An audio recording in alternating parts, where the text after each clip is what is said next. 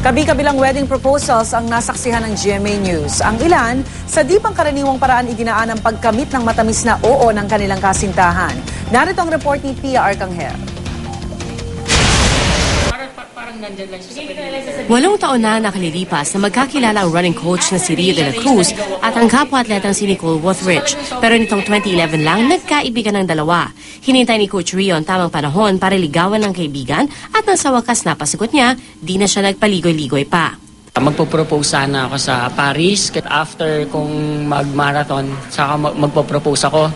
Kaya lang, natatagalan ako eh. Kasi ang tagal ko na siyang inaantay. Ba't ko pa papatagalin, di ba? Sa kanya marriage proposal, kinonsyaba ni Coach Rio ang paboritong banda ni Nicole na Up Dharma Down para haranahin siya sa ikot jeep sa UP Diliman kung saan sila unang nakita. Sa sobrang pagkagulat at dala ng emosyon, di na napigilan noon ni Nicole ang mapaluha. Hilagat kanluran,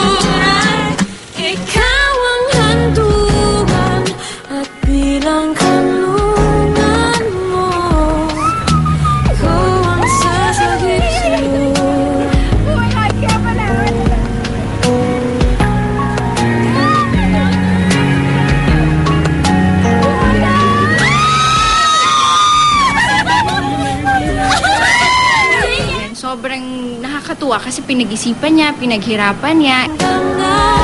Ayon kay Coach Rio, importante pag-isipan at paghandaan na mabuti ng isang lalaki ang marriage proposal. Yung guys, ito yung moment namin eh. Na dito ka kailangan magpasikat, dito mo papakiligin yung magiging asawa mo. Hindi, every time napapanood ko yung video, kinikilig pa rin ako. At saka umiiyak. Yung iyak niya, hindi ganito eh. Ganun.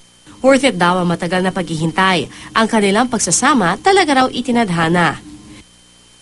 Tila nakasulat din sa Between ang relasyon ng kapwa ko mga kapuso reporter na sina Rafi Tima at Maris Umali. Sampung taon sila magkaibigan bago tuluyang nahulog ang loob sa isa't isa. At nito lang January 1, nakamit ni Rafi ang matamis na oo ni Maris.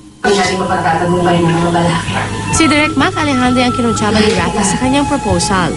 At sa tulong ni na Marian Rivera, Sheila Halili at iba pang cast ng Amaya, ipinabot ni Rafi kay Maris ang kanyang mensahe.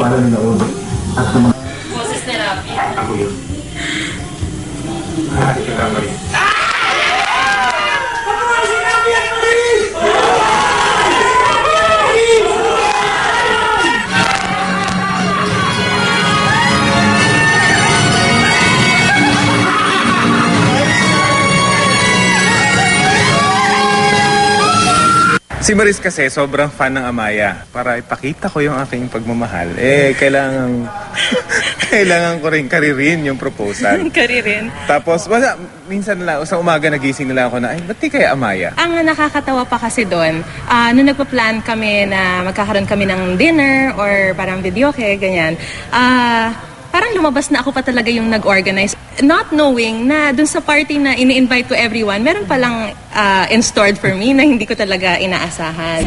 Simple man o en grandeng paraan, kakaiba o pangkaraniwan, ang pagtanong ng Will You Marry Me ay pinahahalagahan ng mga tunay na nagmamahalan. Para sa unang balita, PR Kanghel reporting.